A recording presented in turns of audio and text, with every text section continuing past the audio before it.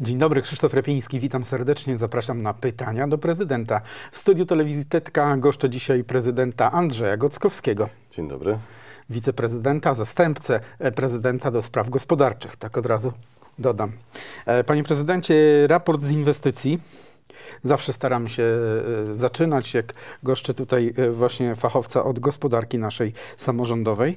E, Najpierw zapytam o zmiany na Starówce, e, bowiem mamy nowy obiekt e, obok e, dawnego browaru. e, Jak to tak określmy, to jest taki nasz tczewski deptak, zejście Tak. z rynku e, nad Wisłę, gdzie tam mamy przystań przecież. E, I cóż to za obiekt i skąd on się tam wziął? Jest to obiekt e, Wiata z zagospodarowaniem też zieleni i małą architekturą, która powinna się niedługo pojawić.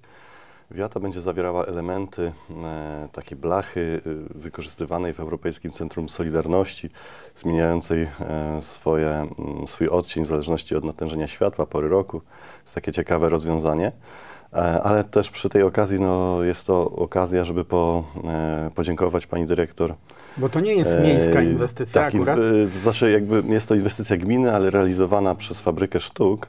I tutaj pani dyrektor pozyskała taką darowiznę, środki zewnętrzne z, z firmy Dowista Mhm. na ten cel. Dokładnie to jest fundusz pracowniczy VKR, w Tak. którego skład wchodzą jakby firmy nie tylko Dowista, a również Velux, e, czyli te okienne, podejrzewam, E, związane, powiązane ze sobą i ten fundusz pracowniczy VKR, jak również środki z Dowisty. Rozumiem, że głównie przez Dowistę było to załatwiane. E, tak, stąd ta Dowista gdzieś się tutaj pojawia jako pierwsza. Także tutaj ogromne podziękowania i, i to już dobiega końca 6 grudnia. Planowane jest takie, można powiedzieć, uroczyste otwarcie tego obiektu. On ma służyć też mieszkańcom i, i fabryce sztuk do e, realizowania różnych eventów, wystaw, e, jakichś warsztatów artystycznych. Takie potrzeby były zgłaszane, pani dyrektor zareagowała i, i, i- skończy się to najprawdopodobniej sukcesem.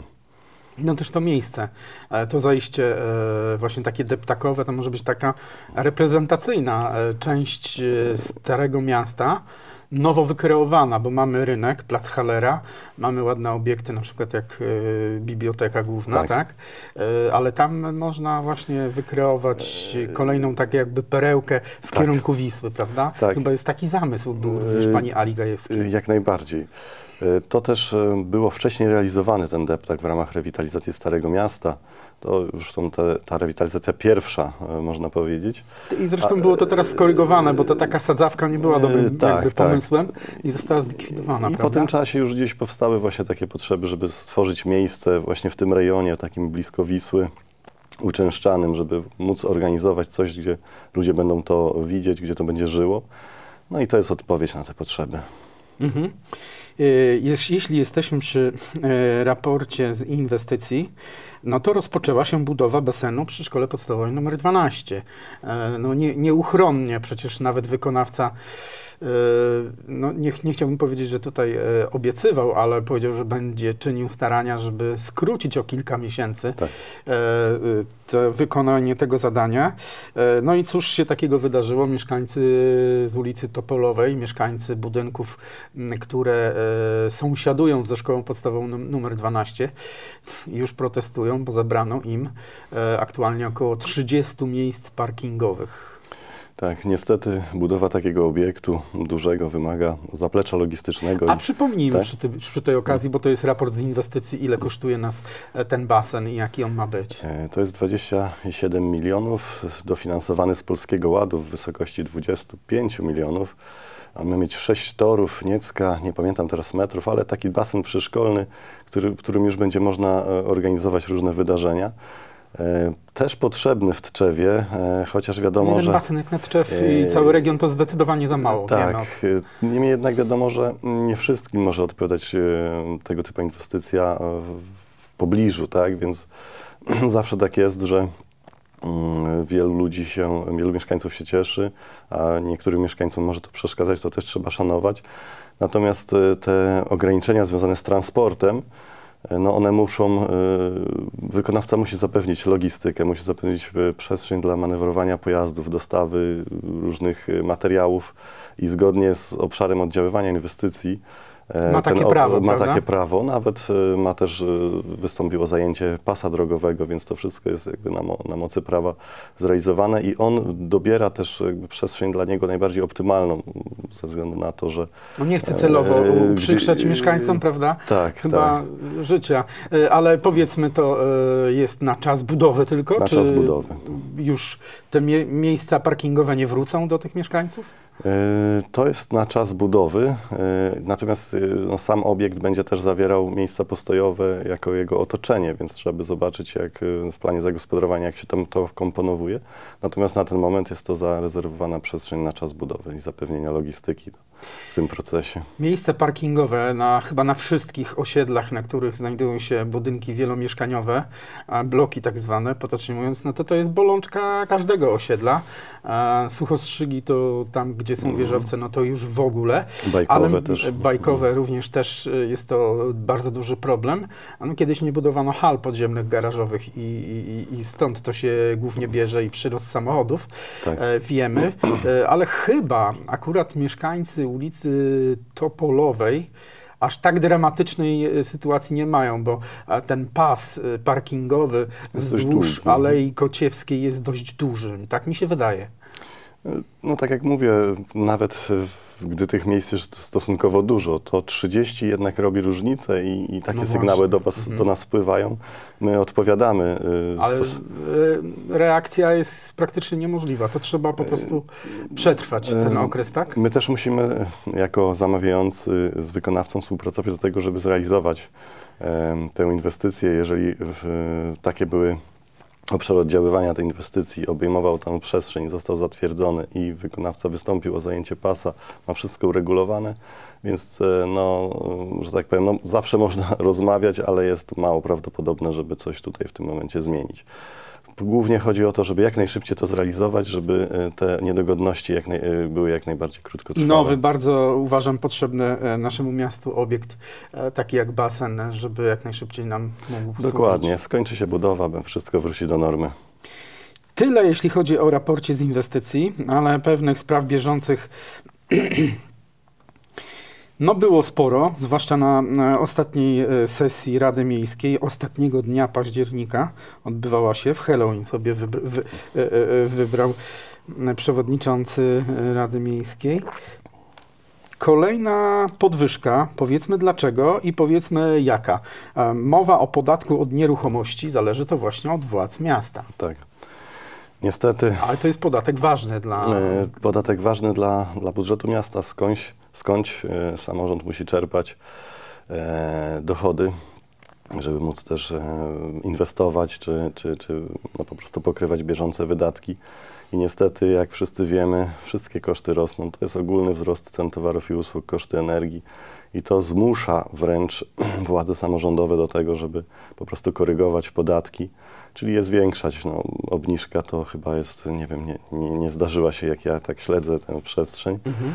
E, W tym przypadku mamy wzrost nie e, taki, jak mógłby być maksymalny. Tutaj pan prezydent dbał o to, żeby tego e, jakby nie wprowadzać w stopniu maksymalnym, chociaż oczywiście każde środki by się przydały, mówiąc kolokwialnie. To tutaj zastosowano wartości maksymalne na rok 2024, a nie skorzystano z tych e, maksymalnych na rok 2025, co procentowo daje e, około 4,3% wzrost te, tego obciążenia. No e, to dla powiedzmy sobie wszystkich. szczerze, jest to jednorazowy wy- wydatek y, w takim budżecie rodzinnym. Taki E, też inflacyjny, bo to, to, to ma Też- taki wymiar mhm, nie, mhm. inflacyjny, czyli taki można powiedzieć troszkę Czyli uzasadniony. 4, 4% y, podwyżki no chyba nie odczuje mieszkaniec y, miasta aż tak bardzo. No, no, najbardziej odczują ci najubożsi, to jest zawsze konsekwencja, te, te nawet drobne, relatywnie drobne podwyżki najbardziej odczuwają ci, którzy mają najniższe dochody. No i tutaj... Tylko z drugiej strony ja przypominam sobie, że w zeszłym roku też była taka drobna, mała, ale jednak podwyżka. I te skoki takie co kilka procent y, są również, jeśli mówimy o wodzie, Tak, mamy też, śmieciach. y, panie redaktorze, niesprzyjające warunki, takie, że wszystko po prostu y, rośnie. Samorząd też e, musi pokryć wydatki na utrzymanie szkół, na utrzymanie tych obiektów, dróg. To wszystko tak rośnie, że, że no deficyt jest wpisany prawie że w system. Em, Więc tu trzeba się nad tym pochylić, bo Mhm. w pewnym momencie no nie będzie z czego pokrywać tych wydatków. Panie prezydencie, zmienię temat. E, Już naprawdę niedługo, 7 listopada, odbędzie się spotkanie informacyjne w sprawie przebiegu linii kolejowych projektu CPK. e, Centralny Port Komunikacyjny, rozszerzę ten skrót. To spotkanie odbędzie się w świetlicy MBP na osiedlu Starzy... Wincentego Witosa. Witosa. E, Często, często mi się to zdarza mylić, dlatego najłatwiej powiedzieć na górkach. Jeden z wariantów, bo tych wariantów już w tej chwili nie Oj, wiem. tam było chyba By- by- kilkanaście. Było sześć, Potem te, ale teraz już chyba zostały trzy. Teraz Tak chyba ósmy dominuje i tutaj właśnie jak już pan redaktor e, zaczął, ja e, od razu wspomnę, że e, na stronie trzew.pl jest zakładka dodana CPK właśnie, żeby mieszkańcy mogli też do takiej, przenieść się, że tak powiem, w miejsce, w którym e, wszelkie informacje na temat tego aktualnego przebiegu e, sobie się z tym zapoznać. Tam jest mapa, która jest na bieżąco aktualizowana i informacje o właśnie spotkaniach. My też e, z panem prezydentem zamierzamy być na tym spotkaniu. Część urzędników, zachęcamy mieszkańców, szczególnie tych, y, którzy no, zidentyfikują, że ta, ta linia przebiega gdzieś w pobliżu ich e, domostw czy, czy przedsiębiorstw, bo no, dla nas też to jest ogromny problem, e, ze względu na to, że miasto jest dość stosunkowo mocno zwarte i każde przecinanie tego miasta, czy przecinanie zabudowy mieszkalnej z jakimiś strefami buforowymi powoduje ogromne komplikacje co do planowania dalszego rozwoju miasta. Chcemy też e, zobaczyć i, i posłuchać i dowiedzieć się, na jakim to jest tak naprawdę, na, naprawdę etapie zaawansowania, bo z tego co wiemy, no jest to etap... Na, e, najważniejsze stu- będzie w tej chwili, e, w tym momencie, w tym punkcie, w którym się znajdujemy, e, ile to będzie kosztować. I, i, jaki wariant wybiorą. A Tak. Bardzo ważny będzie ten koszt, tak? Potencjalny. No tak, tak, koszt i to, to też się wiąże z odszkodowa- odszkodowaniami ewentualnymi, ale przede wszystkim przebieg, bo jeżeli komuś przecina, nie wiem, na, na górkach tam e, klima, tak, po prostu idzie przez nieruchomości, które ktoś pobudował, nie wiem, z 2, 3, 5 lat temu, to, to, to jest ogromny stres. Mhm. My to widzimy i, i też chcemy wiedzieć, e, kiedy e, można i gdzie e, poruszać te kwestie, żeby w imieniu... Bo tak nie, nie wiadomo, kiedy nadejdzie moment, w którym już będzie za późno. E, Tak, tak. I cieszymy się, że w końcu takie spotkania dochodzą do, stu, do skutku, bo też nawet Ale jakieś, będzie to spotkanie z przedstawicielami, którzy projektują to e, CPK? Projektują, ale też znaczy bardziej to jest e, chyba transprojekt, który robi e, studium, to jest tak zwany rozszerzony STEŚ, czyli studium techniczno-ekonomiczno-środowiskowe. E, czyli coś, co jest jeszcze przed samą dokumentacją, stwierdzające, czy dany wariant jest możliwy do realizacji, spełnia tam wymogi środowiskowe i, i jest ekonomicznie uzasadniony.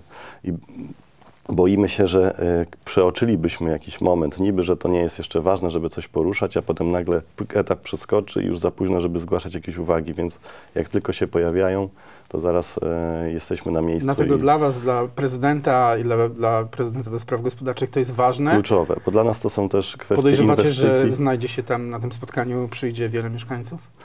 Liczymy na to. Mhm. Bo Nie tylko przez Tczew ma przechodzić e, ten, przypomnę, jeden z wielu wariantów Tak. e, CPK, tych linii kolejowych, także przez gminę wiejską Tczew. Tak, a my też e, wzma- wzmożymy aktywność naszą zainteresowania tematem, gdyż e, pojawiają się sygnały. Kiedyś było mówione, że to tam jest bardziej niemożliwe, będzie zmiana rządu, to upadnie. Teraz pojawiają się sygnały odwrotne, więc trzeba mocno się tym zainteresować, bo być może realność e, tej inwestycji wzrasta. Będziemy może trochę mądrzejsi po tym spotkaniu. E, Ja teraz zapytam o mm, zespół do spraw zieleni, jaki został niedawno e, powołany. E, Czy to jest nowość? To pierwsze moje pytanie. E, Kto go tworzy? Jakie ma zadanie? To jest zespół, znaczy formuła zespołu do spraw zieleni kiedyś już istniała, nawet pan prezydent chyba do niej mm, w takim zespole uczestniczył, w pracach takiego zespołu. Potem go nie było i teraz prezydent, y, można powiedzieć, go reaktywuje bardziej odświeżonym formacie. Składa się z sześciu osób, z czego trzech architektów, y, jeden przedstawiciel y, fundacji To i Co oraz dwóch przedstawicieli Urzędu Miejskiego, w tym y, przewodniczy tym pracą tego zespołu e, ogrodnik e, miejski, czyli pan Janusz La, Landowski. Janusz Landowski. E, Zespół ten ma pomagać prezydentowi w takim spojrzeniu na zieleń, na jej, zago- jej zagospodarowanie, opiniować różne dokumenty, e, plany rozwoju, w tym w szczególności parków, e, skwerów, e, bo miasto będzie rewitalizować park, ten nasz miejski główny, Mhm. plus plany są jeszcze takie szersze. Czyli że- taka sytuacja jakby się zdarzyła z tym wymierającym stawem i rybkami, które tam umierały i chłopcy je To uratowali. też, myślę, że to by to ten zespół do spraw zieleni e, by się tą sprawą E, zajął. Tak, a to najpierw. też jakieś łąki kwietne, no wszystko to, co no, tak naprawdę trzeba troszkę skonsultować z ludźmi, którzy są na przykład architektami zieleni.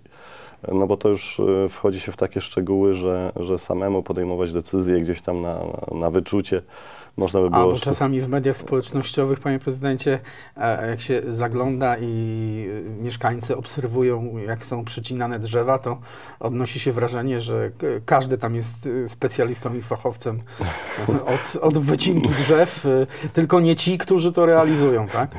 Taka specyfika jest też trochę człowieka, że nie może się wydawać, że, że się na wielu rzeczach znamy, ale jak się zagłębimy w szczegóły, czy też w jakąś wiedzę naukową na tych, to się okazuje, że one są bardziej skomplikowane, ale takie, taki zespół doradczy no, na pewno pomoże prezydentowi przy podejmowaniu decyzji i też może zracjonalizuje rozwiązania, które spowodują też bardziej efektywne Mhm. wydatkowanie środków na to, czy zastosowanie właściwej y, zieleni do terenu, żeby to po prostu ym, miało sens. Coś więcej wiemy już o konkursie na dyrektora Zakładu Usług Komunalnych. E, może pan powiedzieć, kiedy on będzie rozstrzygnięty? No i, no i to coś więcej to są kryteria. No Tak. ym, Znaczy do 12 listopada można składać swoje że tak powiem, aplikacje. Jeżeli chodzi o wymagania, są one określone w ogłoszeniu, ale na wstępie one nie są zbyt wygórowane, można by tak powiedzieć. No to jest pięcioletni s- s- staż pracy, wyższe wykształcenie i oczywiście niekaralność, te wszystkie wymogi, które wynikają z tego, żeby piastować stanowisko urzędnicze. Mhm. E, Dodatkowe już e, kryteria czy, czy, czy kompetencje, które e, kandydat by posiadał, są też wymienione. To jest chociażby doświadczenie w zakresie zarządzania gospodarką komunalną, czy też wykształcenie techniczne, czyli takie, no ono zawsze się przydaje w tej dziedzinie, bo e, szereg działań, które ZUG wykonuje, no jest, jest dość szeroki. E, Następnie mm, no będzie, będą jeszcze przygotowane pytania do takiego testu dla kandydatów, no bo jeżeli to jest dość taki otwarty konkurs, no to trzeba e, zastosować jakiś filtr, e, który spo, wykaże tych kandydatów, e, Może być dużo, może nie wiemy. sporo. Różne Mhm. są też takie mity odnośnie, że w, urzędach nie- chce się Jeśli pracować. chodzi o Zakład Wodociągów i Kanalizacji w Trzewie, no to było sporo kandydatów, dziew- tak? Dziewięciu, tak. Dziewięciu albo ośmiu, No, no, no, coś tak- coś tak tak, tak, wspominam. A, a kto się zajmie wyborem? nowego dyrektora ZUK-u? e, Tutaj em, Urząd Miejski e, zatrudnia, że tak powiem. Mhm. Także będzie komisja Czyli powołana. komisja konkursowa będzie E, tak, też tak, będą pytania i będą osoby z rozmowy. zewnątrz nawet, tak? Tej, do tej komisji E, będą powołane? z- Nie, to we- A wewnętrznie. wewnętrznie. Może być też e, pracownik ZUK-u na, w tej Mhm, komisji. mhm. To już, jeszcze zostanie to o, Czyli określone. do 12 listopada zgłaszanie kandydatów, a kiedy rozstrzygnięcie?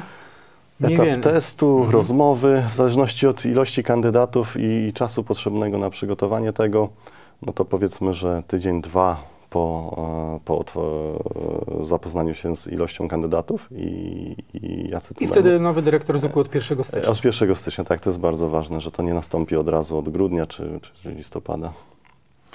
E, Panie prezydencie, no tutaj mam kilka pytań.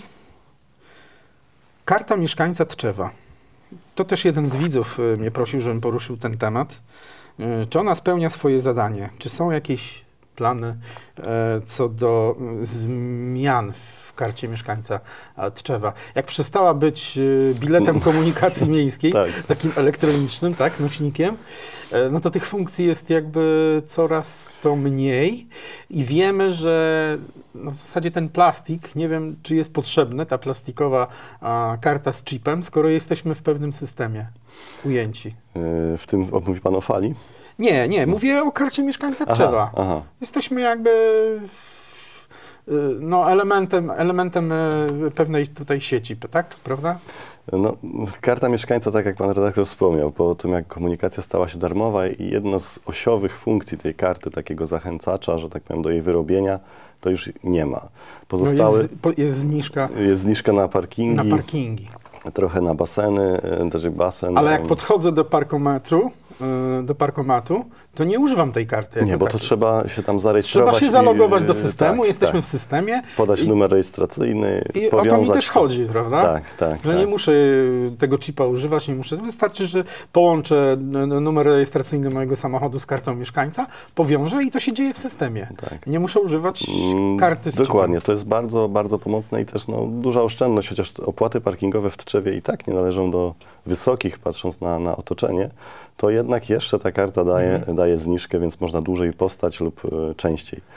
E, Zniżki mamy chyba usługi, to tylko Centrum Kultury i Sztuki i nie na wszystko. W fabrykach sztuk i CKI Fabryka są Sztuk robi praktycznie bezpłatne bezpłatne. wszystko, No, ale praktycznie. powiedzmy, że jest w tym systemie, więc jeżeli coś płatnego, to też No można i Czeskie liczyć. Centrum Sportu i Rekreacji, pewnie Tak. jakieś tam ulgi można I uzyskać. CKI, ale też nie na wszystko, czyli Centrum Kultury i Sztuki, Mhm. bo, bo no, w zależności w jakiej formule oni te spektakle mm, realizują.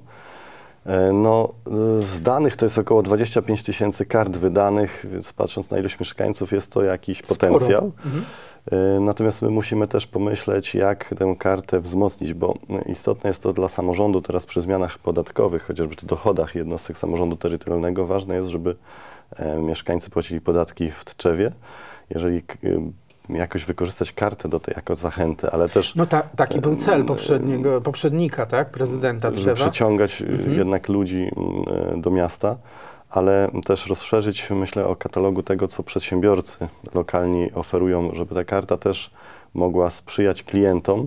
I tu byśmy musieli się na tym pochylić i zastanowić się i też jakąś formułę wypracować, żeby to faktycznie było atrakcyjne też dla tych przedsiębiorców, żeby zwiększyć zakres działania tej karty, bo tak to ona może, no teraz nie ma komunikacji, e, być może część potencjału nie jest wykorzystana, bo już część osób może jej nie wyrobić, bo ona tam jest chyba 3 lata ważna, Mhm, trzeba ją mhm. odnawiać.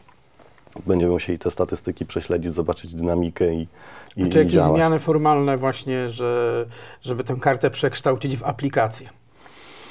To jest, e, jest, jest kwestia tej fali, bo to jest ten system e, wojewódzki, e, taki komunikacyjny, że... No, fala jest pra, prawie też może, niepotrzebna. no niestety, ale też jak mieszkaniec powiedzmy chce docelowo, tak jest, taka jest idea, Jechać gdzieś dalej. już z samego drzewa powiedzmy, żeby sobie zaplanować Mi komunikacyjnie, się wydaje, o, że to są odrębne tematy, fala, a nasza karta mieszkańca. ale można też to zintegrować, czyli by miało się Mhm. kartę mieszkańca i w środku by była fala. O, o, o, to mi bardziej chodzi. Aha. Też ciekawy e, pomysł. E, zaprzestaliśmy w naszym programie zapraszać na, ponieważ tych zaproszeniowych programów telewizji Tetka jest e, stosunkowo dużo. Rozmawiamy bezpośrednio z wszystkimi w zasadzie instytucjami, na pewno kultury, mm, ale mamy wyją- wyjątkowe wydarzenie 11 listopada w Tczewie i chciałbym Pana poprosić, żeby Pan przybliżył widzom naszego programu, co takiego się wydarzy 11 listopada. E, 11 si- listopada będzie, można powiedzieć, świętowanie, że takie obchody odzyskania przez Polskę niepodległości, czyli święto niepodległości. Prezydent e, Łukasz Brątkowski zaprasza mieszkańców na, na to wydarzenie.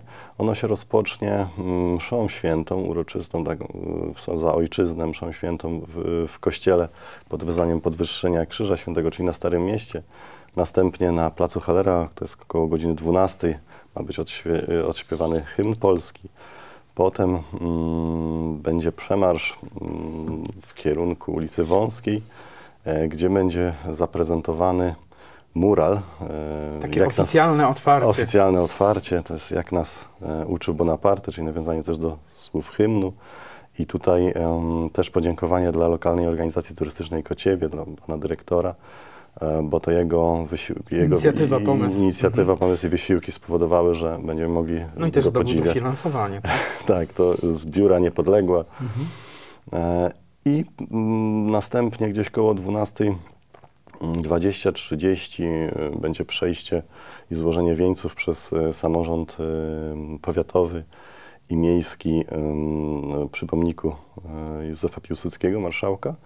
I potem przejście mm, na mm, stary cmentarz, y, gdzie też będzie mm, Takie uroczystości uroczy- patriotyczne. Uroczystości Mhm. patriotyczne przy e, grobie, grobie po, e, poległych pow, powstańców. Tak? Troszkę coś mi się, ta Mhm. pamięć.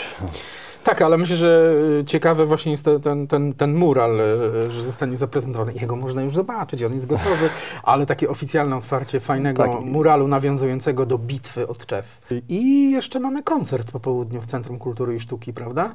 Koncert Orkiestry Progres. Aha, to jest... To jest jakby Kolejna kontynuacja, to już kontynuacja, tak. jest popołudniowa, wieczorna bardziej impreza. E, tak więc y, ciekawie będzie się działo 11 listopada e, w Trzewie z udziałem władz tak. I zapraszam mieszkańców e, z flagami narodowymi lub kotlionami, także można świętować. To jest bardzo jedno z najważniejszych świąt e, odzyskania niepodległości, więc jest to okazja do świętowania. Także zapraszamy e, na uroczystości 11 listopada. Zapraszamy również na program Pytania do Prezydenta. Ten akurat dobiega już końca. Dziękuję Panie Prezydencie. Dziękuję również. Zapraszam na kolejne i czekam również na pytania od widzów. Do zobaczenia. Do widzenia.